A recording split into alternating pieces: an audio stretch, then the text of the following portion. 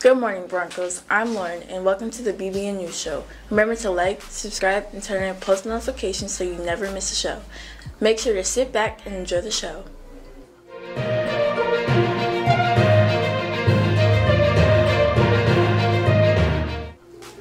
Semester break is in two weeks. Remember to check Schoology for any missing work or failing assignments and follow up with your teachers to improve your grades. Also, those who are testing, make sure you complete and review study guides to prepare for final exams. Let's go finish this semester Bronco strong. We got this. Now on to inspiration. People go, but how they left always stays. By Unknown. Now back to our anchor. Remember, Broncos, E3 ties the excellence to me. I am engaged, I am empowered, and I am ethical. Have a tremendous Tuesday.